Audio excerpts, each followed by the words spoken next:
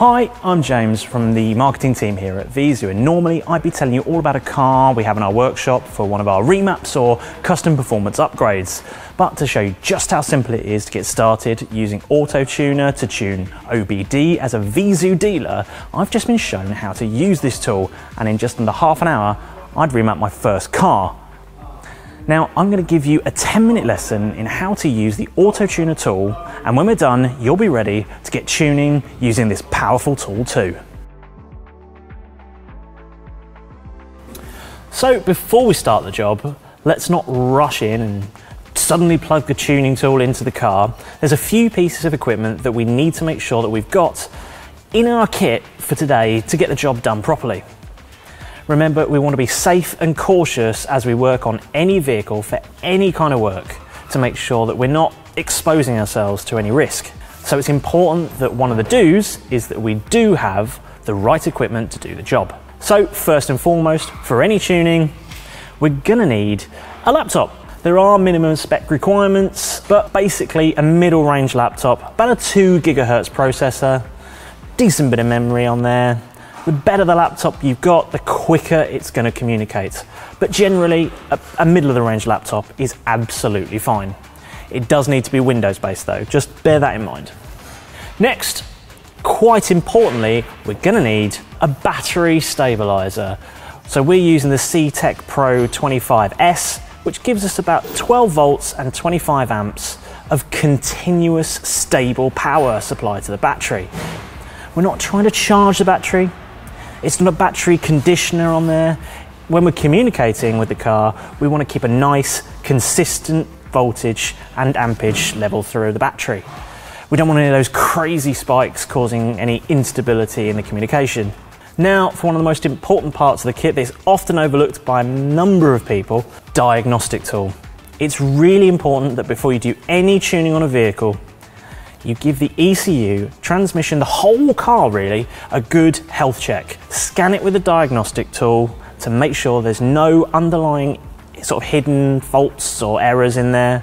You need to make sure that ECU is shiny on the inside and fault free. Next, extension lead. Whilst it sounds like common sense, when you're doing remap, depending on where we're working on the car, you need to make sure that your laptop has the charger plugged in. The last thing you want is your laptop running out of power whilst you're part way through reading or writing to the ECU. Your diagnostic tool might need a power supply, and of course, your battery stabilizer is going to need a power supply. These sort of form the core part of your tuning kit. And last but not least, auto tuner. We need our OBD tuning tool.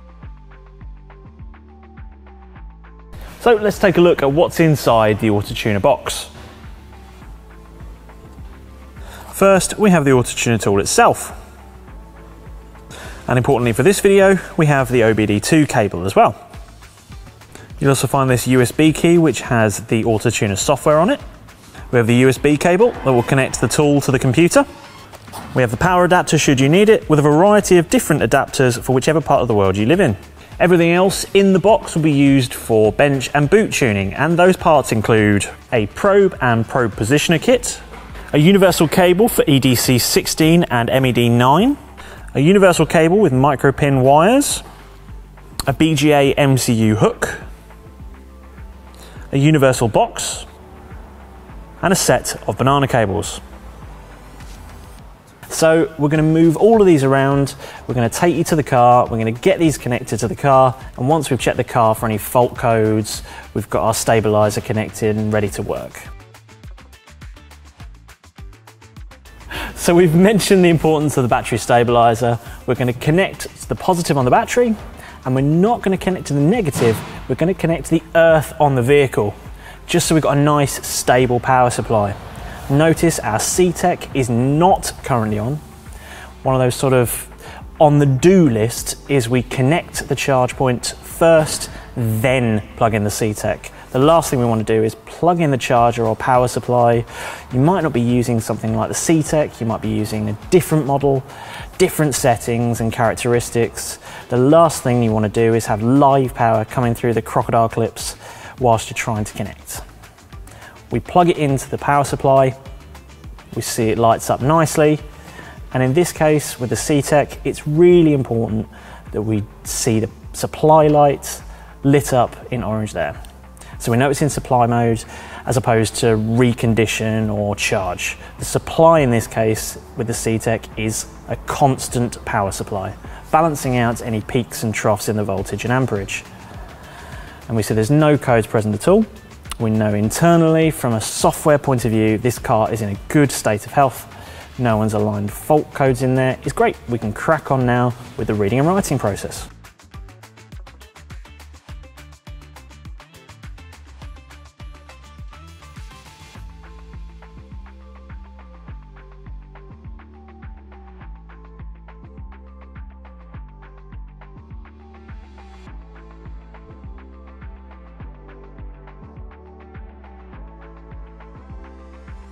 We need to connect the AutoTuner tool to the laptop to open the application. Once loaded, it will give you the following options. ECU operations and master operations, which contain decoding and encryption. Today, we'll be using ECU operations option. We'll be selecting the car icon option. As we know, the ECU is from a Ford. So we'll choose Ford. And we know the ECU is from a Fiesta Mark 7, so we'll select Mark 7.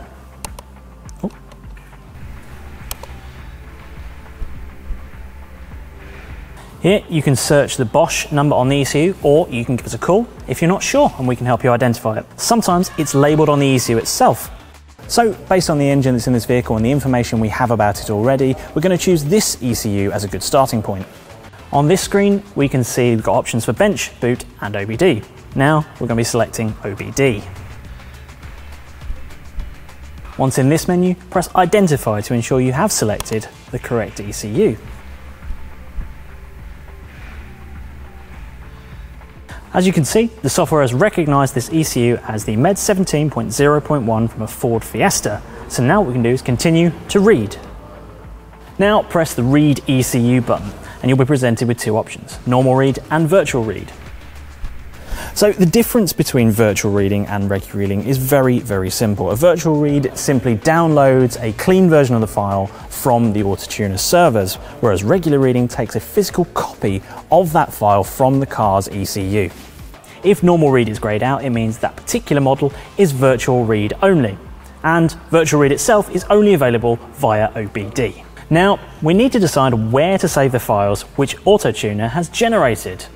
Choose a logical place for you and follow some standard naming conventions such as car registration and customer name. In this example, for ease, we'll save it to the desktop. After selecting the destination for the save file, it will now take the read of the ECU.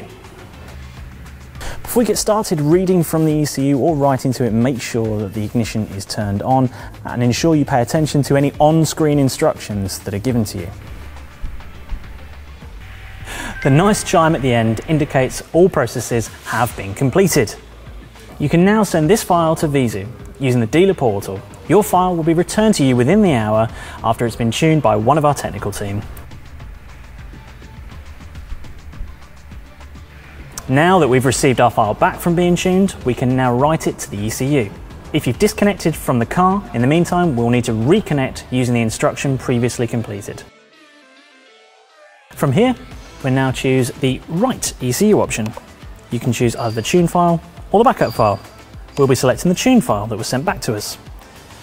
On selecting this file, you'll receive a warning that says to check if you're writing the correct file to the ECU. If you were to write an incorrect file to the ECU, it could damage that ECU. So now's the time to double check to make sure everything is correct. Now press yes, and now begins the upload process to the ECU.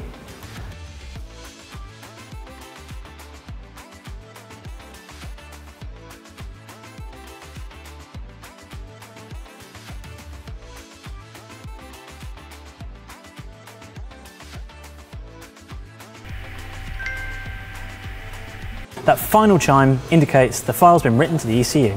You can now unplug from the vehicle, ready for testing. Thank you for watching our video. Hope you found it very informative. Check out our website for more information and training if you need them.